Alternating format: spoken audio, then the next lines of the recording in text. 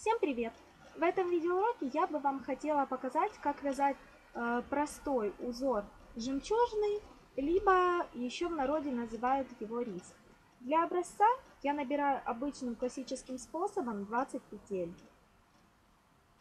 Итак, 2, 3, 4, 5, 6, 7, 8, 9, 10, 11, 12, 13, 14, 15, 16, 17, 18, 19 и 20. Первый ряд. Вытаскиваете одну спицу и кромочную снимаете. Следующую вяжете изнаночной. Третью лицевой, четвертую изнаночной, пятую лицевой, шестую изнаночной, седьмую лицевой, изнаночной. И так чередуете до конца ряда лицевую и изнаночные петли. Лицевая, изнаночная, лицевая и последняя кромочная изнаночная. Переворачиваете второй ряд. Первую кромочную снимаете, следующая идет у нас изнаночная. Вы провязываете лицевую. Теперь третья идет у нас лицевая, провязываете изнаночную. И снова до конца ряда чередуете лицевая, изнаночная, но уже там, где была изнаночная, провязываете лицевой, там, где лицевая, изнаночная. То есть вяжете наоборот. И так снова до конца ряда. Снова провязываете лицевая, изнаночная, только чередуя уже над предыдущим рядом наоборот. И последняя кромочная обязательно изнаночная. Третий ряд.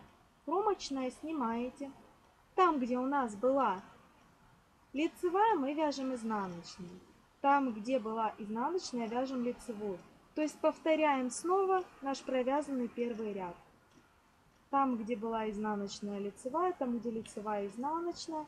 И так до конца ряда. Как вы видите, это узор очень легкий, но в то же время благодаря вот этим вот буколькам, рисинкам, почему и называют еще рис, узор получается достаточно красивый. Посмотрите. Таким узором можно связать шапочку, свитерочек, оформить, особенно мужской свитерочек, обычно не знают, каким э, рисунком оформить.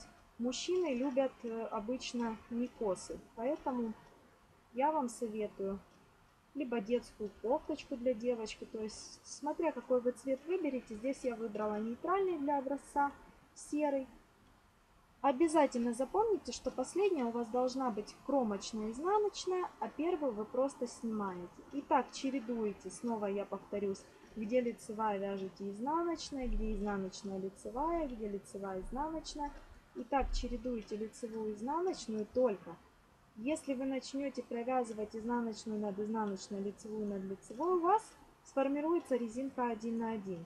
Поэтому формируете в шахматном порядке лицевые петли и в шахматном порядке изнаночные петли.